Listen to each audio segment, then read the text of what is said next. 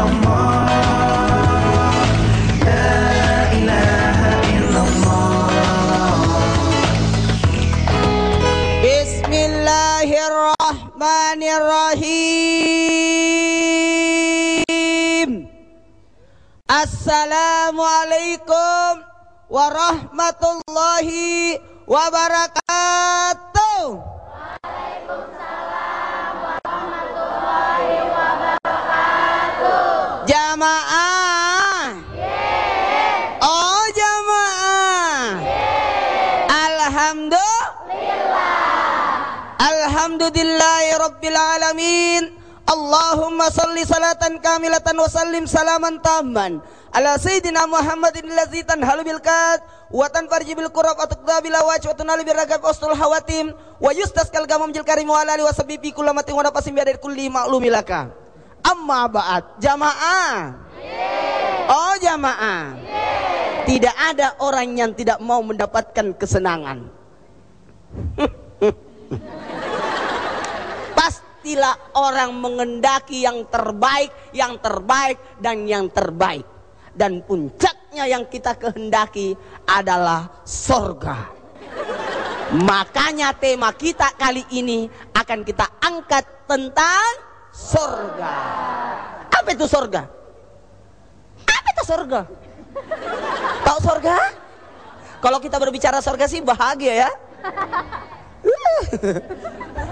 Karena semua pada ingin masuk ke sana.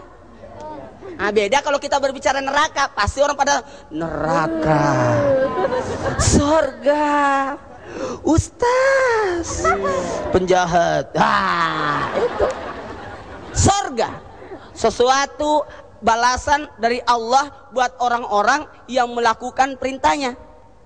Dalam artian ya taat yang beriman yang soleh itulah pahala buatnya. Makanya kalau sorga dipersilahkan masuk sorga. Beda dengan neraka dilemparkan masuk neraka. Dan insya Allah semua akan masuk sorga. Amin. Kalau beruntung karena sorga itu adalah tempat yang bersih oke? Okay? mau masuk sorga? Ada dua orang yang langsung masuk surga tanpa ada pemeriksaan langsung masuk surga yang pertama anak-anak kecil yang mati kecil. Dia langsung masuk surga tidak pilih agama apa pun orang tuanya. Yang penting dia mati kecil. Yang kedua orang gila. Silakan pilih yang mana surga uh karena kalau berbicara tentang surga susah untuk digambarkan penghuninya ganteng cantik. Mungkin di antaranya di sini hadir penghuni sorga. di sebelah kanan saya Rizal Sahdan. Assalamualaikum. Waalaikumsalam. Luar biasa ya ya. Kalau begini udah ciri-ciri penghuni surga. Insya Allah. Insya Allah. Harus melewati neraka dulu ya. Aduh jangan. Gak bisa langsung ya? Anda bisa harus dibersihkan dulu. Kecuali kalau sudah bersih duluan. Kalau lebih bersih dulu lebih dulu itu langsung. Mau? Insya Allah Silahkan mau. bersihkan dulu. Dan di sebelah kiri saya, wow, Di sudut sebelah kiri. sudah intan, pakai cahaya, pakai mata lagi. Eh, Intan Nur Aini. Assalamualaikum. Waalaikumsalam. Sama Ini- Nur nih kita nih. Ya sama-sama Nur. Heeh, dilarang saling Nur, dahului. Nur. Jamaah.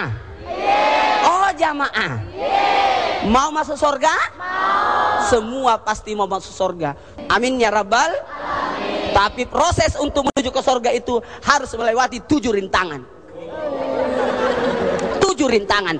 Mati, kuburan, kebangkitan, pada masar, timbangan, pembagian catatan amal dan titian siratal mustaqim. Tujuh rintangan. Lewati ke tujuh rintangan itu. Uh, sorga itu kadang kalau orang berkata gini, sorga itu aku sudah merasakan sorga. Ada sorga dunia. Larinya kepikiran lain kali ya. Sorga dunia yang saya maksud itu ada orang sudah merasakan nikmatnya sorga di dunia. Yang mana itu? Mau? Salamun hiya attamat lail fajar. Kedamaian. Orang yang sudah merasakan kedamaian sudah sorga. Mau sorga? Damai. Dames, swear. Hah? Bisa. Damai. Jangan ada mu.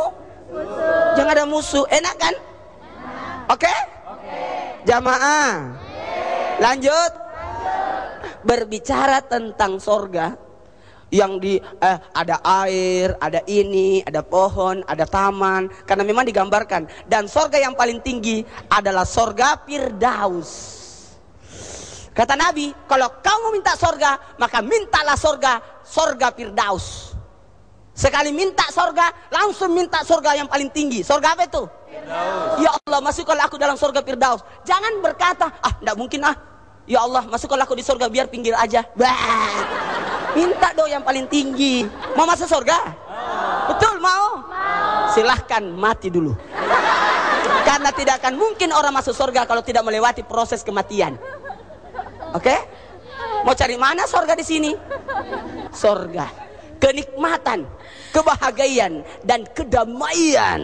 Oh, langsung damai ngeliat Damai. Ya. Aduh, Oh. jadi malu. Ustadz Intan mau Ya. tanya nih, Hmm, misalnya nanti insya Allah nih kita semua bisa masuk surga. Iya. Eh, terus kalau kita sama keluarga gitu masih kenal nggak sih? Kayak misalnya sama ayah kita, sama Masih mama kenalkah kita. sama ayah dan ibu Eh, eh, kita? bisa kumpul nggak gitu? Bisa kumpulkah sama ayah ibu kita dalam surga? Mm-mm. Mau tahu? Mau tahu? Apakah kita masih bisa ketemu dengan ibu kita yang ada di dunia dengan ayah kita yang ada di dunia? Iya. Kita akan lanjutkan setelah yang lewat ini. Jamaah. Oh jamaah. Alhamdulillah.